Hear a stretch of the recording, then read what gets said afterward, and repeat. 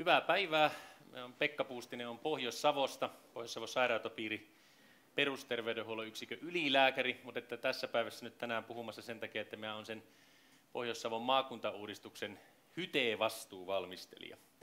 Ja, ja tuota, tässä esityksessä nyt, nyt tuota, keskityn pääsääntöisesti siihen maakunnallisen hyvinvointikoordinaattorin tehtävänkuvaan, ää, mutta aika monelta osin tämä soveltuu kyllä sitten myöskin siihen kunnan hyvinvointikoordinaattori tehtävänkuva-ajatukseen.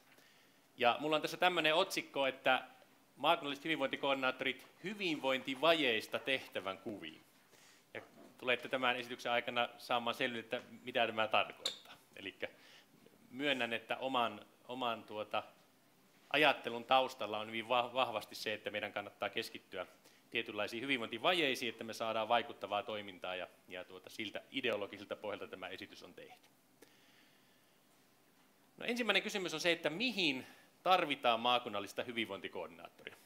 Se on oikeasti sellainen kysymys, joka täytyy siihen meidän osata vastata. Jos ei osata vastata, niin ei kannata palkata yhtään. Näinhän se menee. Tarvitaanko niitä toteuttamaan lain vaatimus? Eli meillä on tässä järjestämislain kahdeksas pykälä. Maakunnan on arvioitava ennakko huomioon päätösten vaikutusta eri väestöryhmien hyvinvointia ja terveyteen. Sen on myös asetettava suunnittelussa tavoitteet, joilla sosiaali- ja terveydenhuollon järjestäminen ja tuottaminen edistää hyvinvointia ja terveyttä. Lisäksi maakunnan on määriteltävä tavoitteita tukevat toimenpiteet ja vastuutahot. Ja maakunnan on valmisteltava omalta osaltaan valtuustolle valtuustokausittain alueellinen hyvinvointikertomus. Maakunnan on toimittava yhteistyössä alueen kuntien kanssa ja tuettava niitä hyvinvoinnin ja terveyden edistämistyössä. Tämä on tuttu laki kaikille. Tai sitten maakuntalain kuudes pykälä. Maakunta hoitaa sille lailla säädettyjä tehtäviä seuraavilla tehtäväaloilla hyvinvoinnin, terveyden ja turvallisuuden edistäminen ja ehkäisevän päihdetyön asiantuntijatuki kunnalle. No tietysti me suomalaiset ollaan sitä mieltä yleensä, että jos laissa näin sanotaan, niin silloinhan se pitää silleen tehdä niin kuin laissa sanotaan. Mutta jos me, meidän perustelu sille, että me tarvitaan maakunnallisia hyvinvointikoordinaattoreita on se, että täytämme lain kirjaimen, niin emme ole vielä kovin pitkällä. Se on huomioitava, mutta se ei ole minun mielestä se pääasia. No toinen tapa ajatella, että miksi niitä tarvitaan, on sitten se, että varmistetaan tietyn profession asiantuntemus maakunnan hyvinvointityössä. Ette usko, kuinka monta kertaa, kun on maakunnassa tätä hyvinvointijuttua ää, tuota, käynyt läpi, niin on saanut kuulla, että me tarvitaan sinne liikuntakoordinaattori. Sitten ravitsemusterapeutit on sitä mieltä, että me tarvitaan ravitsemuskoordinaattori. Sitten kulttuuriväki on sitä mieltä, että tarvitaan kulttuurikoordinaattori. Ja sitten järjestöihmiset on sitä mieltä, että tarvitaan järjestökoordinaattori. Ja sosiaalipuolen ihmiset on sitä mieltä, että tarvitaan tämmöinen sosiaalityökoordinaattori, semmoinen, joka sitä ennaltaehkäisevää sosiaalityötä ymmärtää. Tämäkin on ihan perusteltua. Jos meillä on ihmisiä hyteetyötä tekemässä maakunnassa, niin on pelkästään etu, että meillä on erilaisia taustakoulutuksia näillä ihmisillä. Joku ymmärtää enempi liikunnasta, joku ravitsemuksesta, mutta eihän se voi olla se perusperiaate, miksi joku ihminen palkataan ja mitä se laitetaan tekemään, se, että hänellä on tietynlainen taustakoulutus. Ja niinpä itse olen sitä mieltä, että se todellinen syy, mihin niitä tarvitaan, on tämä, korjaamaan todettuja hyvinvointivajeita. Ne ihmiset otetaan sinne maakunnan hytetyöhön tai kunnan hytetyöhön korjaamaan jotain semmoista asiaa, edistämään, parantamaan jotain semmoista asiaa, mikä sillä kunnassa tai maakunnassa on pielessä. No jotta tähän ajatukseen voisi lähteä tälle rakentamaan, niin meidän tietysti ensin pitää tietää, että miten meillä menee. Miten tässä kunnassa menee, miten maakunnassa menee. Ja me on Pohjois-Savossa oltu sitä mieltä, että kolme tämmöistä keskeistä kysymystä, mihin, mihinkä ihan kaikessa hyteetyössä pitää aina pystyä vastaamaan, niin ne on nämä. Eli mitkä on maakunnan suurimmat hyvinvointiin liittyvät ongelmat, millä tutkitusti vaikuttavilla keinoilla niihin voidaan puuttua, ja millä keinoilla ja työkaluilla saadaan kaikkien käyttöön. Eli jos tehdään mitä tahansa hyteetyötä ja joku näistä kolmesta kysymyksestä jää vastaamatta, niin väitän, että se hyteetyö ei silloin ole kovin menestyksekästä. Eli ensinnäkin, jos me suuntaudutaan väärää asiaa, että me yritetään korjata semmoista, mikä meillä nyt jo on hyvin muihin maakuntiin verrattuna, niin meillä ei oikein ole mitään tutkimukseen perustuvaa syytä olettaa, että jos vaikka Pohjois-Savon nuorisosta tupakoi nyt enää 1,5 prosenttia. Että pistämällä 5 miljoonaa sinne rahaa tupakoinnin vähentämiseen, että me saataisiin sitä enää pienemmäksi. Mutta jos meillä taas on tilanne, että meidän Pohjois-Savon nuorisosta 25 prosenttia tupakoi ja muissa maakunnissa paljon vähemmän, niin on aika isokin todennäköisyys, että siihen asiaan panostamalla me saadaan merkittäviä terveyshyötyjä aikaan. Se on tuo ensimmäinen kysymys. Toinen on se, että millä keinoilla niihin asioihin vaikutetaan. Mä itse olen jakanut ne keinot tämmöiseen niin sanottuun kolmen korin periaatteeseen, että meillä on A-korin periaatteet, jotka tarkoittaa niitä keinoja, joista on laajasti jo monessa, kohdassa, monessa kunnassa kokeiltu maakunnassa, ja niistä on jotain tutkimusnäyttöä. Sitten B-korissa on ne keinot, mitä on monessa kohdassa ja monessa kunnassa kokeiltu, mutta joita vielä ei ole tutkittu, että oikeasti vaikuttaako se vai ei.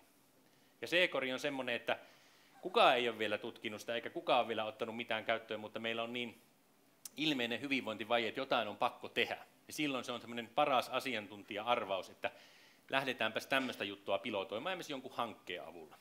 Ja meillä on ollut semmoinen idea, että aina pitäisi se priorisoinnin mennä niin, että niin kauan kuin A-korissa on tavaraa, niin sieltä otetaan.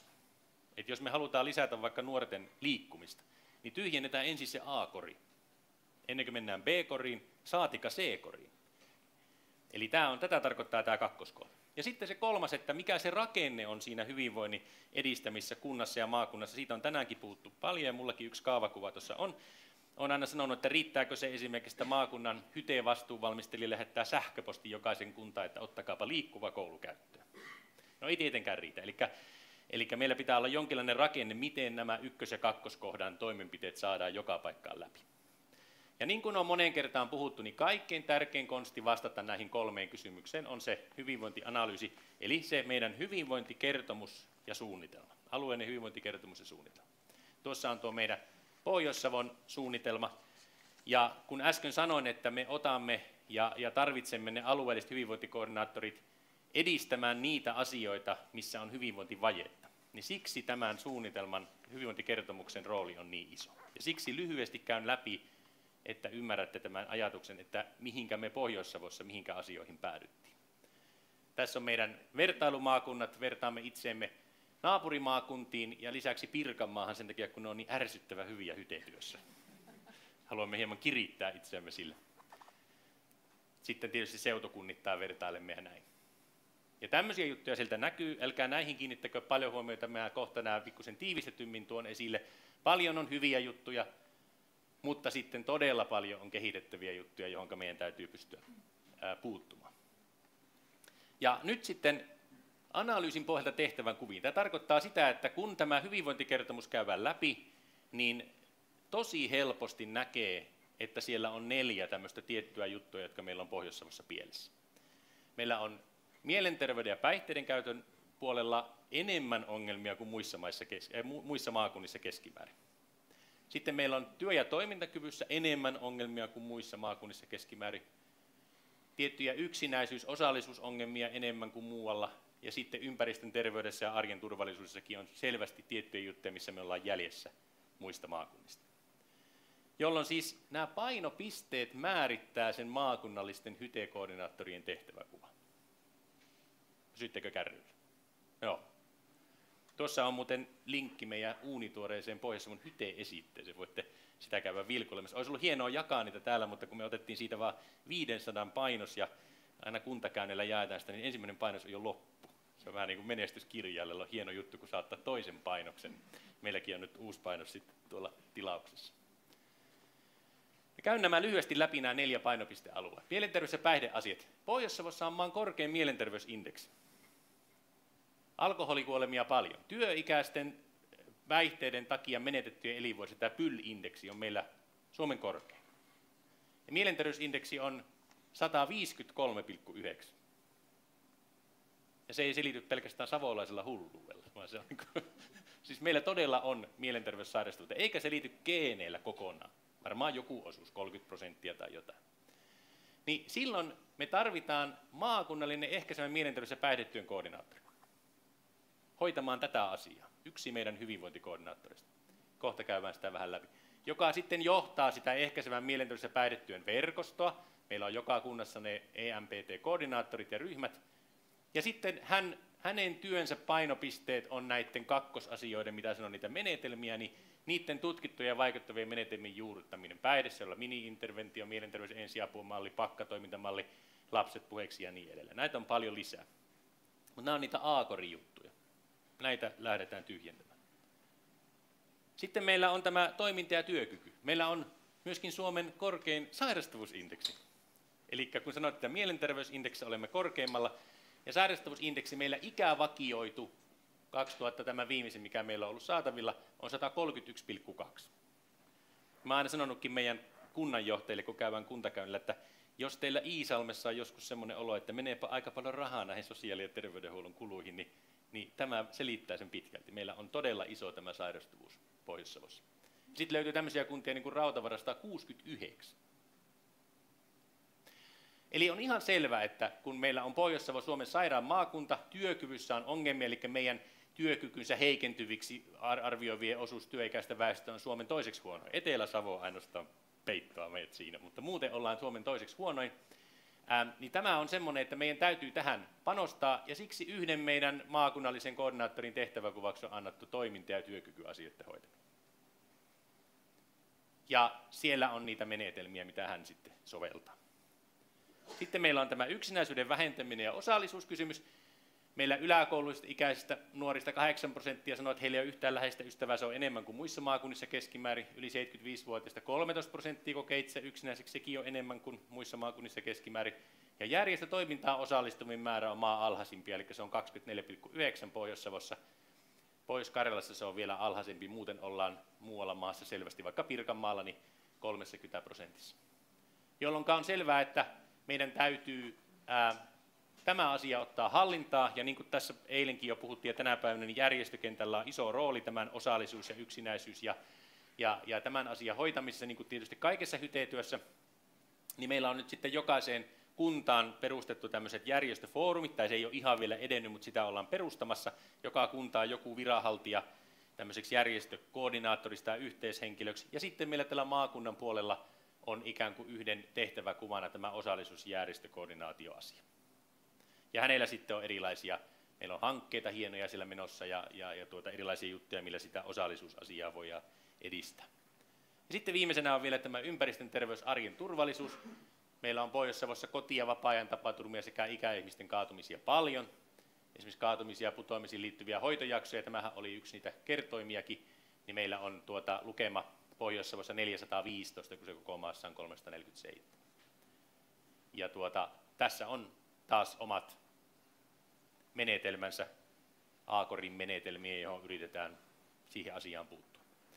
Eli yhteenvetona, tässä on nyt se minun lupaamani häkkyrä, hässäkkä tästä Pohjois-Savon jutusta. Tämä tietysti kuvaa sen koko rakenteen, tämä voisi olla oman luennon aihe se, mutta nyt keskityn lähinnä tähän juttuun. Eli meillä on, niin kuin monessa maakunnassa, niin on siellä se maakuntahallitus, sen alla toimii tämä maakunnan poikkihallinnon hyteryhmä, ja, ja raportoi suoraan hallitukselle, mutta sitten se työrukkane on tämä järjestäjän puolella oleva maakunnan hyteyksikkö.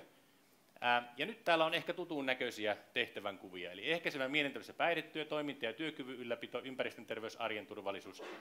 Sitten on hyvinvointitiedolla johtaminen. Tämä on tietysti semmoinen, että jonkun pitää se hyvinvointikertomus katsoa, osallisuus- ja järjestöasiat.